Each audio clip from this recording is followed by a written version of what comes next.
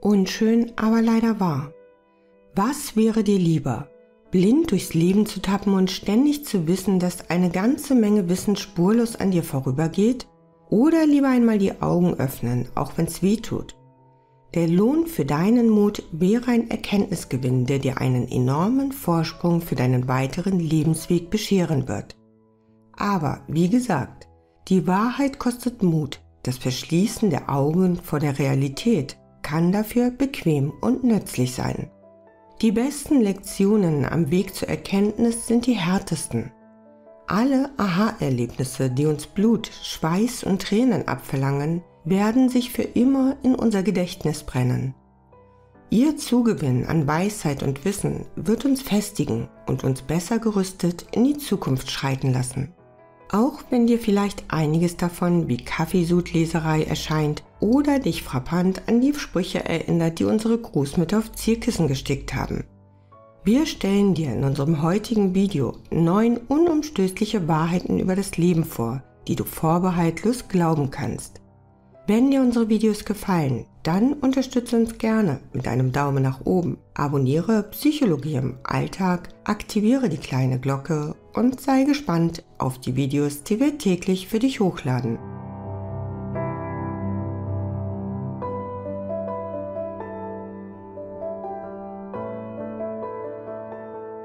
Nummer 1. Geld regiert nicht nur die Welt. Es ist leider so und an diesem Punkt gibt es nicht zu rütteln. Ohne Geld wären wir obdachlos und würden über kurz oder lang verhungern. Die Idee von einer Welt voller Nächstenliebe, in der die Starken die Schwachen gut versorgen, gibt es nur in utopischen Konstrukten. Sogar die politische Realisierung des Gedankens, dass jeder Mensch einfach gleich viel besitzen sollte und alles wäre gut, ist kläglich gescheitert. Zahlreiche Idealisten in den 70er Jahren haben das Leben in Kommunen versucht und sind sogar auf unbewohnte Inseln ausgewandert, um dort eine ganz und gar gleiche Gemeinschaft zu erschaffen, wo Geld keine Rolle spielen sollte. Alle diese Experimente sind gescheitert. Es gibt immer Menschen, die das Eigenwohl über das Gemeinwohl stellen und mehr wollen als die anderen. Ohne Geld gibt es einfach nichts im Leben. Diese Tatsache müssen wir akzeptieren. Selbst wenn wir zurück zur Tauschwirtschaft gingen, was ebenfalls einige Anhänger der Neominimalismusbewegung versucht haben, kommt man ganz ohne den schnöden Mammon einfach nicht durchs Leben, egal wie einfach und bescheiden es auch gestrickt ist. Und mehr Geld bedeutet immer mehr Möglichkeiten.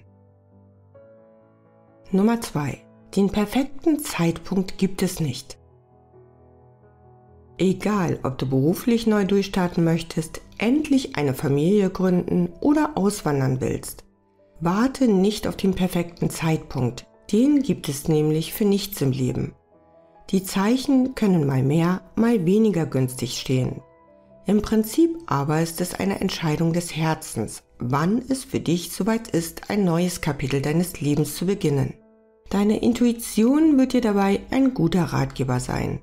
Merke, wenn dir die ersten Schritte leicht fallen und dir alles spielend gelingt, was den Weg in die neue Umlaufbahn ebnet, dann bist du richtig unterwegs. Stellt sich dir hingegen ein Hindernis nach dem nächsten in den Weg, lass es lieber bleiben. Der richtige Zeitpunkt wird kommen, auf den perfekten wirst du hingegen lange warten. Nummer 3. Keine Partnerschaft ist besser als eine schlechte oder mittelprächtige.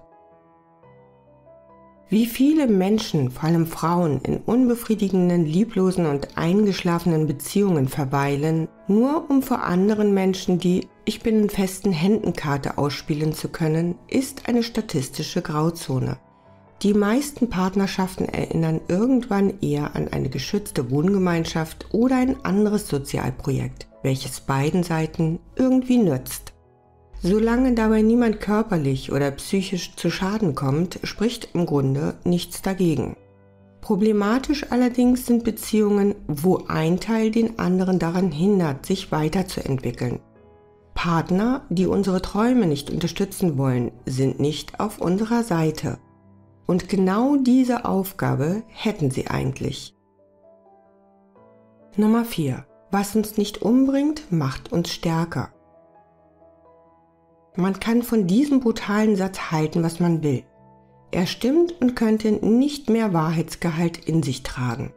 Je schwieriger die Herausforderungen, Krisen und Tiefs in unserem Leben sind, die wir erfolgreich überwunden haben, desto mehr profitieren wir von ihnen.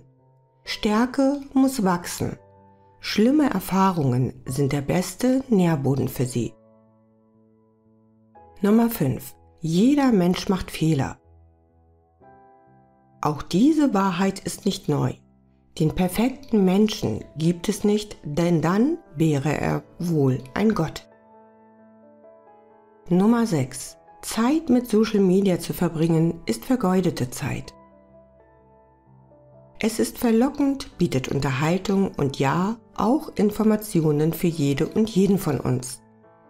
Das Internet und seine ungeahnten Möglichkeiten rauben uns aber täglich wertvolle Lebenszeit, die wir wesentlich sinnvoller und gewinnbringender gestalten könnten.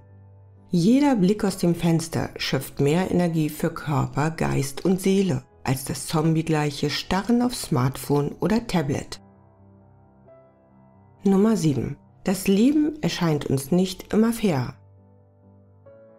Zu diesem Thema hat jeder Mensch seine eigene Meinung und natürlich auch seine Erfahrungen gemacht. Manche, mit denen das Schicksal es ausgesprochen gut meinte, sind auf der Sonnenseite des Lebens zu Hause. Wieder andere werden gnadenlos von einer Krise in die nächste katapultiert, ohne Aussicht auf Besserung. Doch wir sehen immer nur einen Teil des großen Ganzen. Das Schlechte und das Gute sind jeweils nur Momentaufnahmen und nicht der ganze Film. Ob wir das Leben als schön oder schmerzhaft betrachten, hängt zu 100% davon ab, worauf wir achten und welche Aspekte wir in den Fokus unserer Wahrnehmung rücken. Nummer 8. Falsch entschieden ist besser als unentschieden. Dieser Punkt mag überraschen, aber sich einmal oder mehrmals falsch zu entscheiden ist langfristig besser, als in einer unbefriedigenden Situation wehrlos wie ein gefangenes Tier zu verharren und sich totzustellen. Gelebte Passivität ist gleichzusetzen mit dem Zustand, lebendig begraben zu sein. Aktiv zu entscheiden, was man möchte und was nicht, hingegen macht in Summe das Leben aus, Fehlschläge inklusiv. Nummer 9. Langjährige Beziehungen sind nicht automatisch gut. Nur weil Paare sich schon erfolgreich einige Jahre lang zusammengerauft haben, spricht das nicht automatisch für eine gute Beziehung. Gerade in den letzten Jahren, wo Frauen der späte Einstieg ins Berufsleben sichtbar leichter fiel, stieg die Scheidungsrate von Ehen, die bereits die Silberhochzeit hinter sich hatten, drastisch an. Die Dauer einer Partnerschaft sagt nichts über ihre Qualität aus. Unser heutiges Fazit, geblendet von unrealistischen Erwartungen. Unser Blick auf das Leben wird wie so vieles in unserer Kindheit geschärft. Die Vorbildwirkung der Eltern und der eigenen Familie spielt dabei eine große Rolle. Später lernen wir die wunderbare Welt der Literatur, Musik und Filme kennen deren einzige Aufgabe es ist, einen Traum zu verkaufen. Das Internet und alle seine Möglichkeiten der Selbstdarstellung hat diesen Handel mit großen Erwartungen und falschen Vorstellungen vom Leben auf eine vorübergehende Spitze getrieben. Doch selbst wenn wir unser Leben mit dem von echten anderen Menschen aus unserem Umfeld vergleichen, wird uns das mit Sicherheit keine echten Fakten liefern und unterm Strich nur unglücklich machen. Wir Menschen sehen zum einen immer das, was wir sehen wollen. Zum anderen entscheiden wir jeden Tag darüber, was wir anderen von uns zeigen. Analog zu Shakespeare ist das Leben nämlich tatsächlich eine Bühne. Wir Menschen sind die Spieler. Das Drehbuch schreibt jemand, dessen Absichten wir nicht kennen und wahrscheinlich auch gar nicht verstehen würde. Die Wahrheit über das Leben gibt es nicht. Sie ist für jeden Menschen eine andere. Das war's für heute. Schreib uns gern in die Kommentare, was du von dem heutigen Thema hältst. Vielen Dank fürs Zusehen.